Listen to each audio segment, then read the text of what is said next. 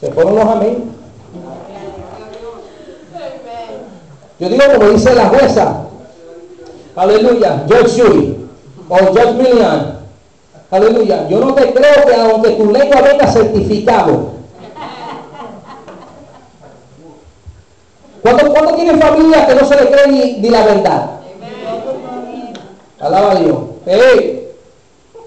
Porque tanto que te han mentido, tanto que te han mentido, aleluya, que, si tú supieras que era la verdad, tú no, mire hermano, te vas y lo chequeas bien. Porque son tan tan mentirosos que ya no le pueden decir la verdad. Y sabemos que lo único que cubre, cubre una mentira, ¿qué es? Otra mentira. Y se hace más grande la montaña de mentiras. Entonces, cuando tú no coges mentira, ¡no! Yo no dije eso. Yo no, ¿qué? ¿Qué? Domina a David. Ahí se ve. Bendito nuestro Dios. A veces es mejor decir la verdad y pasar por el problema de la verdad. Escúchenme bien. Que no tener que buscar más tarde explicar una mentira. Aleluya. Praise God. That's for the next conference, the matrimony conference. A lot of people are not going to show up anymore. Say, I'm not going to that conference. He's going to throw it all out there. Bendito nuestro Dios. La mentira se paga. Escúchame bien.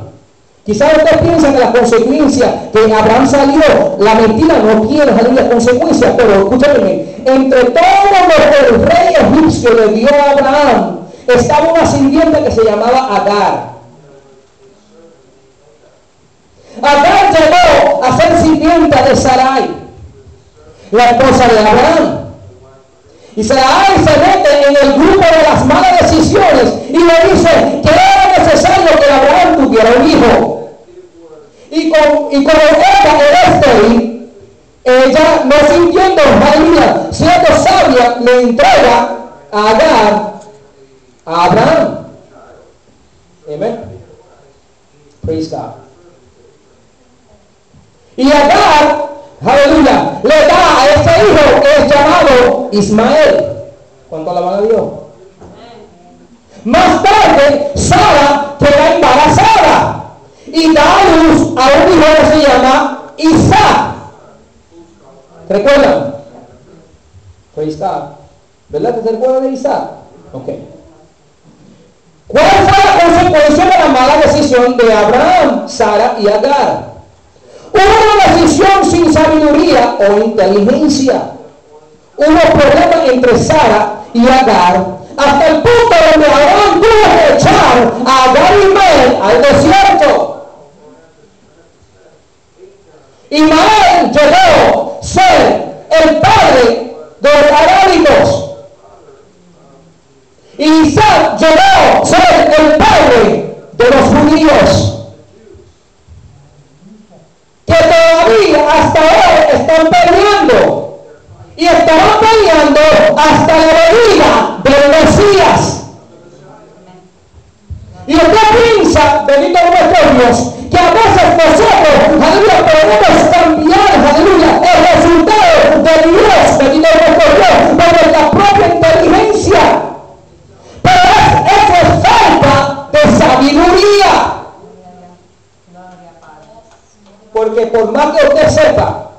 Jamás y nunca usted va a saber más que Dios. Amén. Amén. Mañana yo estoy tomando unas clases en, el, la estación de bomberos para poder guiar esos eh, eh, trozos de, bomberos que tienen un ladder. We call them aerial pieces. Praise God. Y estoy pasando por una, una clase hoy en día, mañana tengo otra clase. Amén. Pero yo me sorprendí que cuando yo me sentí, cuando yo me senté en esa clase, había dos personas que tenían más de 20 años en Hampton como bomberos. Y los dos son capitanes. Yo dije, ¿ya para qué? Si se van a retirar mañana, ¿para qué tomar esa clase? Praise God, aleluya. Mi, mi pregunta es, ¿Por qué esperamos tanto, tanto, tanto tiempo para tomar estas clases cuando sabemos que casualmente ellos están dando estas clases? Yo tengo solamente cinco años y medio en, el de los bomberos estoy esperando una clase y solamente ahora fueron que me dieron la oportunidad para ir para esa clase. We have two captains that's 20 plus years. Cuando ellos se encuentran, se encuentran cuántos días te quedan aquí, cuántos meses te quedan aquí. Se están hablando de, cómo, cuándo se van a retirar.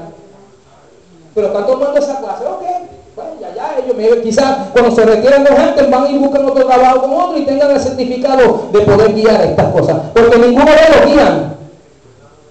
They don't drive the, they're in the captain's seat. They're not in the driver's seat. They're in the captain's seat.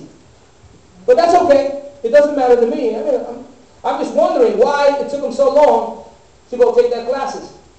Is that a, wise choice? I don't know. Maybe, maybe not. I don't know. Lo más malo de las malas decisiones es que muchos de a nosotros alrededor son afectados. Nuestras madres, nuestros padres, nuestros hijos, nuestros, eh, nuestros parientes, nuestros hermanos, nuestras hermanas, aleluya, pagan por a veces las decisiones que hagan, hacen ustedes. Yo le digo a mis hijos, ten mucho cuidado, ten mucho cuidado, protéjase, miren, buscan, buscan la inteligencia del Señor, eh, buscan la alianza de Dios. ¿Saben por qué? Aleluya. ¿Cuántos de las personas están en cárceles hoy en día? Aleluya. Y no es por falta de qué? De consejero, de consejería. Alaba Dios. ¿Cuántas veces hay personas hoy en día que están pagando por sus malas decisiones? No sé si a usted yo le testifiqué de una jovencita, que se había criado en el Evangelio.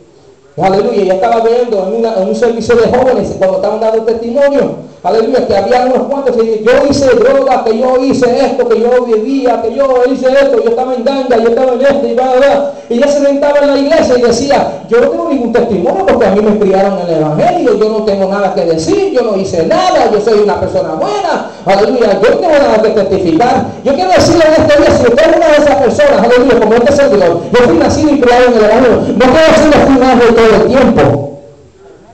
No fui un ángel todo el tiempo. Aleluya. Pero por lo menos, aleluya, tenía en la iglesia. Escúchame bien. Pues esa, esa jovencita decidió decir, me voy para el mundo a hacer lo que a mí me da la gana. Bendito nuestro, yo tengo la edad, ¿sabes de esa edad? Yo tengo la edad, yo tengo la edad. La edad. Bendito nuestro, la edad. Y se van a hacer las cosas. ¿Sabe lo que se metió? Con, se metió con un muchacho que la quería, que le iba a traer la luna, que le iba a traer los montes, que le, le, iba a traer la estrella, todas estas cosas. ¿Qué pasa? El, muchacho estaba afectado con sida. ¿Y qué sucedió? Se la pegó a ella. Alaba.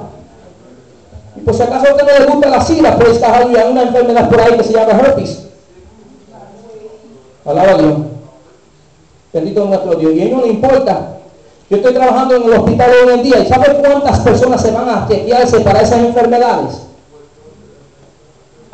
La primera cosa que a mí me encanta ver la noche, la primera dice, you don't use protection, you don't, you don't do nothing like that. Says, well, it was a mistake. Well, you know that mistake can cost you your life? Hello?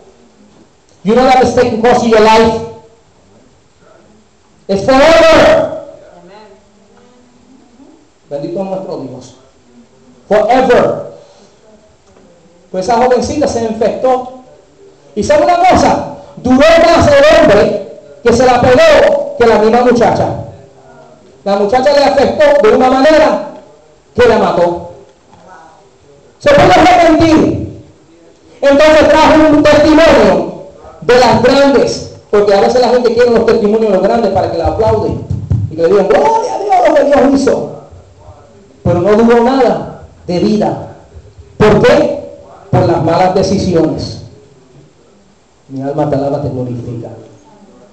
A veces hay que pedir al Señor. Yo pienso de esta manera. Todos los días que nos vamos a Señor, dame más sabiduría. Dame más sabiduría e inteligencia para poder ver, hermano, eh, escoger entre el bien y el mal. Poder decir no cuando no decir no y sí cuando no supo decir que sí. Mi alma te alaba, te glorifica en este día. Muchos piensan que el escoger hay un espíritu de rebeldía o un espíritu de desobediencia solamente afecta a uno mismo, pero al final a todos que tú tocas son afectados. Aleluya. Yo te voy a decir algo por si acaso. Yo quiero decir algo que quiero estar claro. Yo fui, aleluya, un hijo. Fui el único varón. Mi papá murió, aleluya, en el 1982. Aleluya. Yo tenía una semana casado con Carmen. Una semana casado. Yo me casé un sábado, mi papá se murió el próximo sábado en Puerto Rico. En unas vacaciones donde yo fui de Florida a, Puerto Rico. Y cuando fui a Puerto Rico me separé de mi familia para ir a una, a casa de un tío mío. Aleluya. Cuando me dan una noticia que mi papá se murió en Arecibo. Mientras estaban yendo por la isla. Le dio un infarto y el infarto lo mató. Tenía 55 años mi papá. Joven. Joven. Bendito nuestro Dios, aleluya. Y yo puedo decirle en este día, yo puedo testificarle que cuando yo me paré al lado de la cabeza de mi papá y el, cadáver de mi papá, yo pude hacerlo con un orgullo. ¿Sabe por qué? Porque yo fui un buen hijo hacia mi padre. No fue un hijo perfecto, porque no hay personas perfectas en esta tierra. Pero por lo menos, aleluya, aleluya, yo puedo decirle que cuando mi papá me decía algo, yo lo oía, lo escuchaba lo decía, yo no sé lo que le de yo voy a hacer obediente, aunque no me guste lo que él quiere decir. Yo solo testifique a ustedes. Él me hacía, él me hacía limpiar las ollas en casa. Eso lo testifique a ustedes, ¿verdad que sí? Mi papá me decía, tú no sabes cuándo eso va a ser tu trabajo. Y parece que era como, como un certificado al cielo. Aleluya. Y cuando yo estaba metido en una olla tan grande, en un hospital donde yo trabajaba, que yo me podía cocinar yo mismo. Bendito nuestro Dios, aleluya. Yo me recuerdo cuando yo les raspaba todas esas cosas abajo de la olla. Y dice, esto es papi, esto, esto es por culpa de papi. Bendito nuestro Dios. Mi alma te alaba, te glorifica. En el año 2003, mi mamá le da un derrame cerebral. Y yo me recuerdo que nosotros teníamos, aleluya, una emisora. Aleluya. Y yo estaba en la emisora dando nuestra hora que teníamos en el radio y estaba hablando con lo que es actualmente el pastor de la iglesia Esmirna. Nosotros estábamos tomando, aleluya, cuando mi hermana me llama y me dice, mami también mala, tuve que llevarla al hospital. Yo salí de la emisora y cuando fui, aleluya, al hospital ya mi mamá estaba inconsciente. No me le dio oportunidad Dios de despedirme de mi madre. No. Bendito nuestro Dios. Mi corazón se destruyó, hermano, ese día. Yo sentía, aleluya, como que un pedazo de mi corazón se había desaparecido. Porque que yo tenía, aleluya, 20 años con mi papá, aleluya, mi mamá duró muchos más años después de que mi papá partió para encontrarme el Señor. Y compartí con ella mucho más, aleluya, que con mi papá, bendito nuestro Dios, aleluya. Esa mujer, aleluya, era mucho más que un hombre, aleluya, y una mujer, aleluya, cristiana delante de la presencia de Dios. Hasta nosotros, hoy mismo, aleluya, Elías, aleluya, me estaba testificando de una persona que él conoció, que conocía a mi mamá. Aleluya, ¿sabe cómo conocía a mi mamá? Aleluya, la mujer chiquitita con pelo blanco que guiaba la guagua grande de la iglesia. Y los tigres que estaban a su alrededor, aleluya, velaban a mi mamá, bendito nuestro Dios, porque el testimonio que ella llevaba, bendito nuestro Dios, era mucho más grande de la estatura que ella tenía era una mujer pequeña. Bendito nuestro Dios. Y quiero testificarle también que cuando mi mamá partió para estar con eso, yo pensaba que no iba a poder resistir esa partida. Yo peleé con Dios. Peleé con Dios. ¿Por qué tú no me das y me diste una oportunidad de poder, poder menos despedir de mi mamá? ¿Por qué tú no me diste la oportunidad, aleluya, de poder decirle a Dios, aleluya, mi madre? Bendito nuestro Dios, pero yo sentí unas caricias en mi vida, aleluya, porque yo sabía con seguro a dónde mi mamá iba a ir, y yo estaba seguro que yo era, aleluya, un hijo, ideal para ella. Nosotros pudimos poner mi mamá en una fúnebre, hermano. Tuvimos que ponerle una iglesia, a donde la iglesia se llenó, en la iglesia primitiva, en la iglesia primitiva la velamos. Y yo pude estar, hermanos, aunque yo lloré, hermanos, con gusto, hermano. Yo lloré, yo me, yo me costaba llorando y me levantaba llorando. Porque cuando me levantaba me ponía a recordar las cosas. Yo, yo me levantaba, yo pensaba.